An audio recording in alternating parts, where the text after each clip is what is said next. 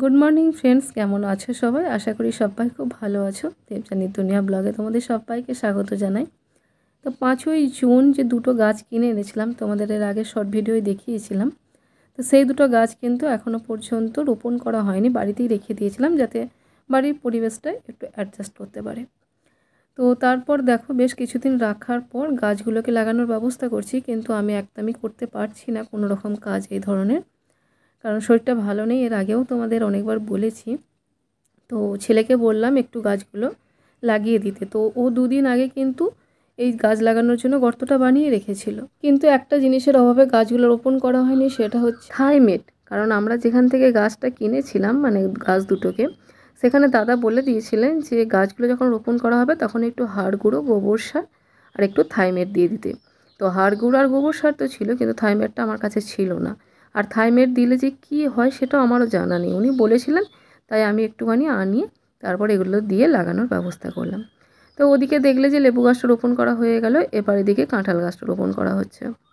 লেবু গাছটা একদিকে লাগিয়েছি আর একটু দূর দিয়ে কাঁঠাল গাছটা লাগাচ্ছি, কারণ কাঁঠাল গাছ তো অনেকটাই বড় হয়, লেবু গাছ কিন্তু অতটা বড় হয় না। আর কাঁঠাল গাছের ছাওয়াতে তখন লেবু গাছটাও আর ভালো মতো হবে না। সেই জন্য কিন্তু কাঁঠাল গাছটা একটু দূর দিয়েই লাগানো হলো। এখন কতটা কি হবে সেটা জানি না।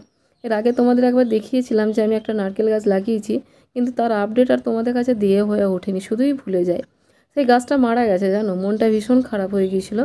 কারণ আমারই ভুল হয়েছিল, প্রচণ্ড গরমে গাছটা না তুলে আমি যদি বর্ষার দিকে হয়তো গাছটা লাগাতাম, তাহলে হয়তো গাছটা মারা পড়তো না। আমারই দোষে গাছটা মারা গেল। কী আর করব? কিছু করার নেই, মনটা অনেকটাই খারাপ হয়ে গিয়েছিল। কিন্তু তারপর যাই হোক, আবার দুটো গাছ নিয়ে এলাম, কাঁঠাল গাছ আর গন্ধরাজ লেবুর গাছ। কিন্তু নারকেল গাছ তো আর হলো না। তো যাই হোক, নারকেল গাছ আমার বাড়িতে এমনিই চারটে আছে। তো আর একটা লাগিয়েছিলাম, যেহেতু গাছটা বেশ সুন্দরভাবে নিজে থেকে বের হয়েছিল, খুব ভালো লেগেছিলো।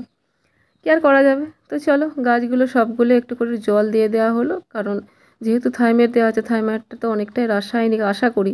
আমিও সঠিক জানি না এই ব্যাপারে। তো সেই জন্য বললাম, জলটা একটু বেশি করে দিয়ে দিই যাতে গাছগুলো জ্বলে টলে না যায়।